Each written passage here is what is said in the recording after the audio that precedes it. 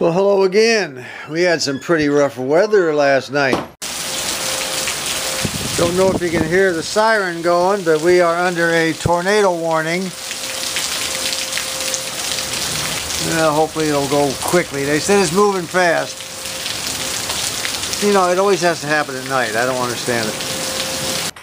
Tornado came pretty darn close to the house, but I have that sign in the yard that says, you know, that round red circle you know, with the X it says no tornadoes allowed, you know, tornado busters, that sort of thing. It's worked these many years. It never got near the house. I just went ahead and made the repairs to the back of the uh, pinball machine, our card whiz. You'll remember it had a, ba a bad set of uh, contacts here. Uh, these were not the right kind. These were not long enough and they were burnt and fried. Also, the the uh, coil for the uh, solenoid. check this out. I want you to see this baby. We'll just focus right in here on that. The coil for the solenoid was also fried to a crisp. We had one other set of contacts get burnt uh, off the same unit. And of course, the whole thing basically got pretty much fried. And you can see how dark and black it all the con Actually, these are probably still good. But, you know, I figure what the heck, uh, if I have a replacement set, why not go ahead and install them? All I would have to do is really clean it all up and clean the contacts. But I'm not going to. I've already installed a replacement on the unit. And all I have to do is transfer the wires from here to here. Alright, all done. Now, again, this is our bad coil. This was one set of contacts that had the, uh, the tip burned off. The uh, the elongated tip right here is missing from right here. And this here now I said that this would probably work if I cleaned it up and everything and it probably uh, might not have been a big deal but really it probably was. I mean remember the old carbon trail trick?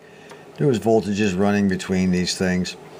Uh, what we'll do I think I don't know if I'm going to keep these things or not. I'll probably just chunk them all. I don't need them let's let's I'll tell you what let's power it on uh, plug it in power it up and see if it made any difference at all. Well we're back here looking uh, this little Dumaflachi here also works off of a uh, solenoid over here. And you'll see that this thing goes around and around and uh, there's a whole slew of contacts down in here. And this is kind of the brains of the outfit and we'll be doing a lot of cleaning on that. We'll, we'll, remove this and tip it down. We'll clean all the contacts and shine up all these. And I think there's some greasing that we can actually do on this. Put it all back together without having to tear it all to pieces okay? So that'll be an upcoming uh, project. Uh, probably one whole video on that thing. I went ahead and manually set all the score wheels back to zero and uh, you know Brendan said that might help also. So let's go ahead. We got her plugged in. Let's see if anything happens at all. Nope. The old motor just wants to keep turning and turning and turning. Alright let's shut her down. Let's see if the flippers work. Nope. Flippers don't work either. Okay. What that means is we're now uh, what we're going to have to do is dig deeper down into it so we'll lift this lid up and take a look at the motor running and see if there's any sparks and any you know excessive sparks any burn mark anything obvious you know? You know there is a chance this thing could wind up uh, lock this door locking up on me here and I don't want to I don't want to have to drill that lock out in case it does. So I'll just go ahead and see if I can't remove that there we go. Save myself a little trouble later on. I don't need those kinds of headaches. By the way, it was pointed out in the last video by one of our uh, good subscribers that you don't always have to lean this thing all the way back the way I had pulled it forward and you know put the two ends down in the low spots on these two rails and then lean it all the way forward against the head. You can also use this rail here to lift it up and hold it almost like the hood of a car. So that's what the old motor looks like going around and around. No sparks at least, no smoke. Uh, everything's, I don't see anything that's obviously burned, fried, nothing, no black marks, anything. So probably our biggest problem is going to be just contact cleaning. Absolute contact cleaning, especially over here. And this, look at that. We've got uh, well, we got one set, two set, three set, four set, five sets of contacts just right there, and each one of them's got a couple of hundred on it. So we've probably only got about 50,000 sets of contacts that need to be cleaned.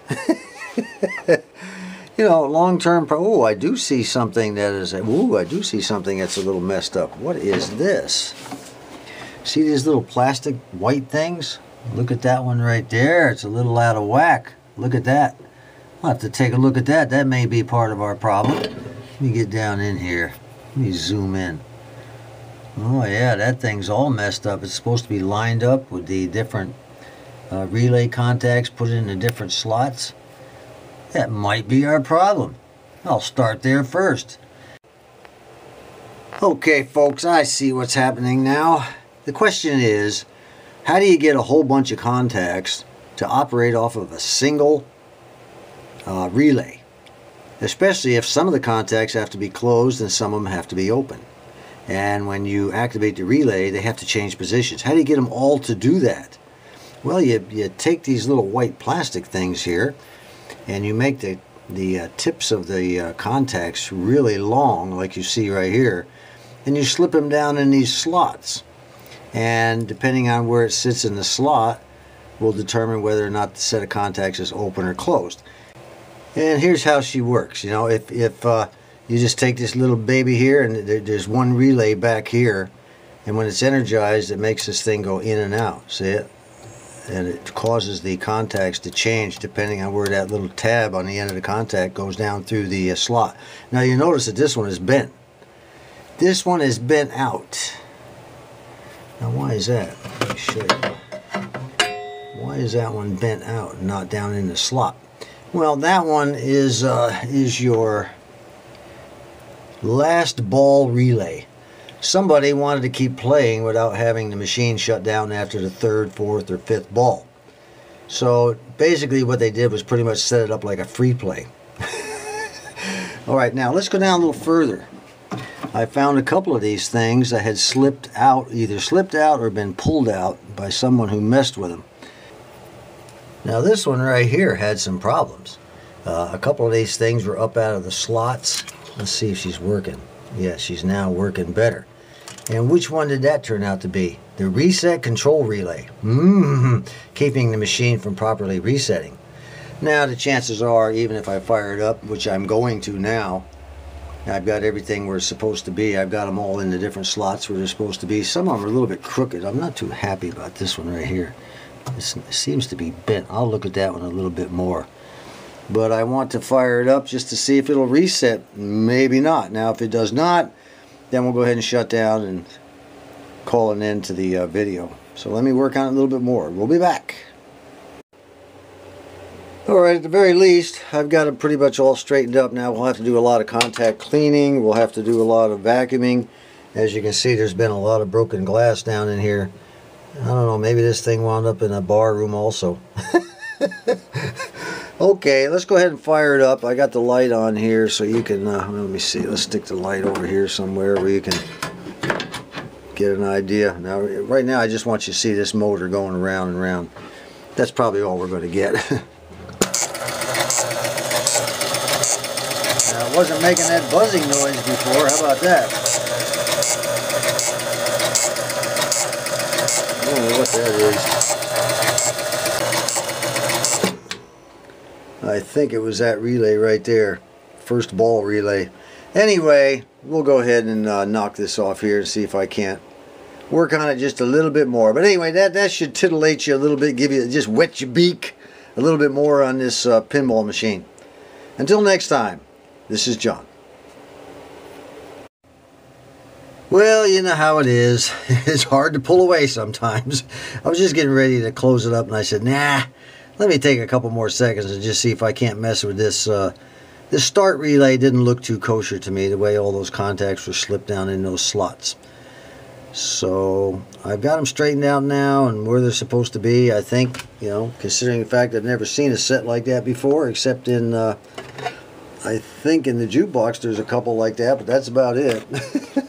So what I'm going to do is we'll go ahead and fire it up and see if there's any change at all. I'd like to I'd like to see something besides that buzzing. All right, one way or the other, uh, we're going to go ahead and call it quits. So let's see what happens. Fire in the hole.